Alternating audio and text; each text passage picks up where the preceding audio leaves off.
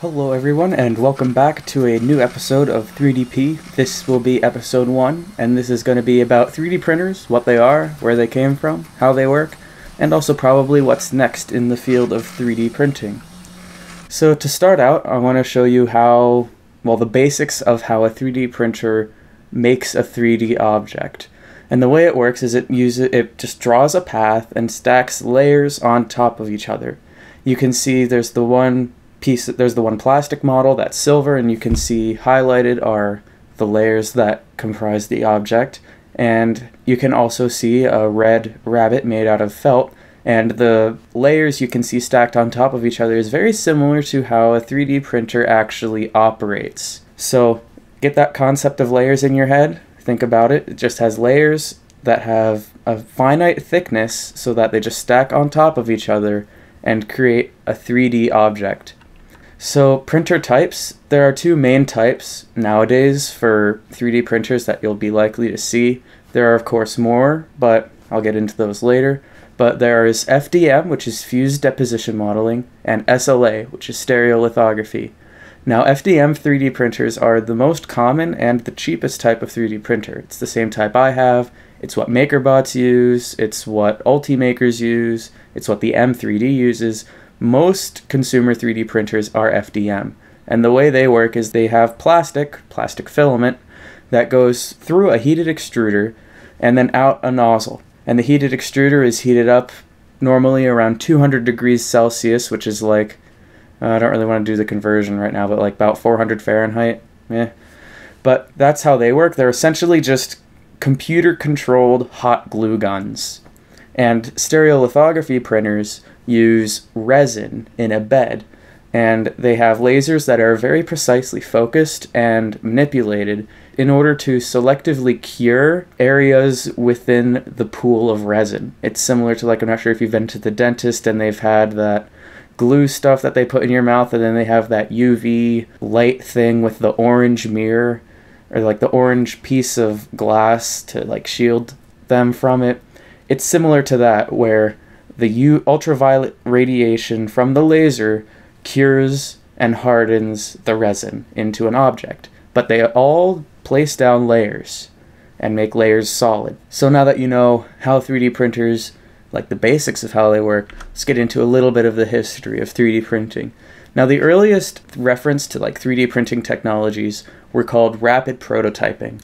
And the reason they were called rapid prototyping, abbreviated RP, is because it was thought that it would be a cost effective way of making prototypes really quickly in industries around the country. And the first patent was filed by Dr. Kodama in 1980, but it actually wasn't filed within the one year deadline after the application, so he never actually got the patent. It really started in 1986 with Charles Hull's patent for a stereolithography apparatus for rapid prototyping in 1986. He first actually invented the machine and created one of these in 1983, and he later co founded 3D Systems Corporation, which is still a very large corporation today. And the first commercially available rapid prototyping system, obviously, this thing would have been very, very expensive. It was introduced in 1987 and it was SLA 1, introduced by 3D Systems. But the first one sold in 1988 after much, much testing because these were very high precision devices. They had to work every time. I had to make sure to get all the bugs worked out. Meanwhile, Carl Deckard was working on a system that used selective laser sintering process. Now, this is a different type of 3D printing thing. It uses lasers to basically selectively melt powdered metal. But it was issued in 1989, and then he also got that patent. And another guy, Scott Crump, co founder of Stratasys, filed a patent regarding an FDM process. Now, FDM, you remember, was like hot glue, and that came in 1989 when he got the patent for that. EOS started selling their systems that used fused deposition modeling in 1990. And that was like very early stuff in the 3D printing industry. But some more recent stuff. The FDM patent was actually issued to Stratasys in 1992. And then a bit happened, but it's sort of like complicated and not too important. But in 2004, Dr. Bowyer conceived of the RepRap project, which was an open source, community oriented 3D printing project where people would build their own 3D printers and try to get the cost down, but still have very good units. But later, three years later, in 2007, the first complete system was made for under $10,000 by 3D Systems, but it wasn't incredibly popular. But the industry was leaning more and more towards cheaper and cheaper printers so that 3D printing could gain a more broad audience and more people would be buying things, more people would be making things, and $10,000 was still a bit high for most people. Like the real goal was to get something like under 500. Like if someone could build a 3D printer for under 500, you would just like you'd have it. Later, MakerBot's first commercial kit was made in in 2009, and it was based off of the RepRap project. And as of now, things are only getting better. I mean, my 3D printer was $300. It was a kit, and it's based on the RepRap project but there's other pre-made printers, like obviously MakerBot is still a thing, but now we have more ones like Ultimaker that make more, I guess, high-end consumer 3D printers. And then there's the M3D, which is like the cheapest available 3D printer, pretty much the cheapest ready-to-print printer, and it's like 300 bucks, I think. But things probably, I don't know if prices can actually get any lower, but right now I think they're at a point where they're getting really good for the price. So, with the history of 3D printing out of the way, now I'll let you know what the 3D prints are actually made of. And you can see here all of these different acronyms PLA, ABS, nylon. Well, nylon's not an acronym, but there are a variety of different materials that 3D printers can use.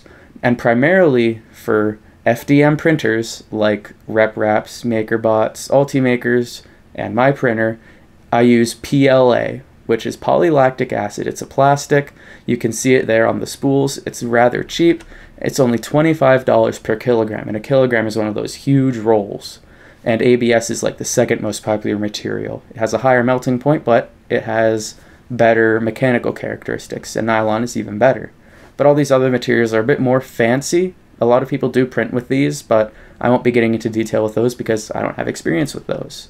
But as for the cost of 3D printing, you can take a look at this. These all of these pieces are printed on my 3D printer with PLA. And as you notice, it's like very cheap. That big dragon statue, which is almost solid, is only like a buck 60 and it's really detailed, rather large. It's like probably about 4 inches tall, has a very big base, uses a, a bit of material, but all of these really high detail high quality 3D prints are created for very cheap, and all of these things here are just like five bucks.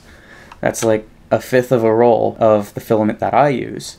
And the cost benefits of 3D printing are really, really good when it comes to FDM 3D printers because the material is just so cheap. Now, here's the business end of the 3D printer it's the extruder. Now, this is again only for FDM printers, and it basically just deposits molten plastic with a motor and it feeds it uses the motor to feed filament through a heated element. I'm not sure if you can see it on the diagram, but there's a little metal block behind the fan and behind the filament, and that has a little toothed gear on it that sort of mushes into the plastic filament, and it feeds it down through the heated nozzle, which is that silver metal block with the brass tip, and Normally, the diameter of this nozzle is 0.4 millimeters, which is, I don't know, I can't think of anything to compare 0.4 millimeters to, but it's like, you know, about half a millimeter. But other nozzles go a lot lower. I've been experimenting with 0.2 millimeters, and it does help with the resolution a lot. But generally, you're dealing with 0.4 millimeter nozzles. And I like to think of these like a hot glue gun. Just computer controlled hot glue gun that lays down plastic onto whatever you're printing on. So the extruder, it feeds it down through. You see in this animation. The movement has three axes, X, Y, and Z. And then there's also like a fourth axis, which is the extruder, because it just treats all of these motors as axes. And it basically just says, go to this coordinate, and between these two points, lay down this much plastic. And that's how it works. So you have your x-axis, your y-axis, and your z-axis. And if you combine all of those together along with your extruder, you get a machine that can draw paths of plastic onto a 3D print bed and onto previous layers that it printed.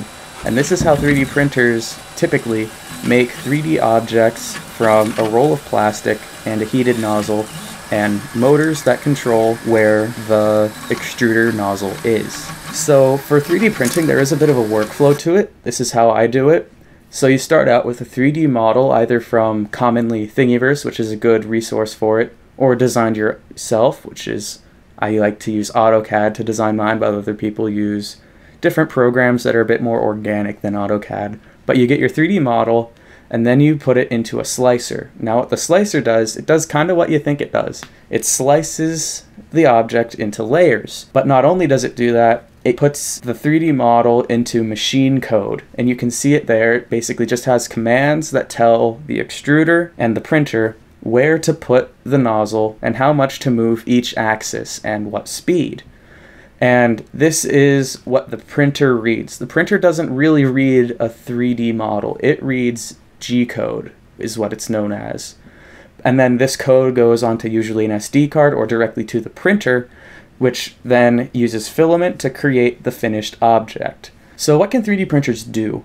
Well, right now, um, the really, really high-end 3D printers are used in medical applications a lot. Like they've been printing a lot of like skull cranial implants and also prosthetics because it's actually a lot cheaper to 3D print these and it's a lot more easy to 3D print these because you can print them to any shape you want and you don't need to like go off of a template or anything or hand make this. It's like you just 3D model it, you put it in the thing, maybe finish it up a little bit, and then you have a working object. Now, the printer that I like that I'm showing you here is one by MIT. It's the Many Materials printer, and it's an example of a high-tech 3D printer. It can print in, like, I forget, like nine different materials, probably more.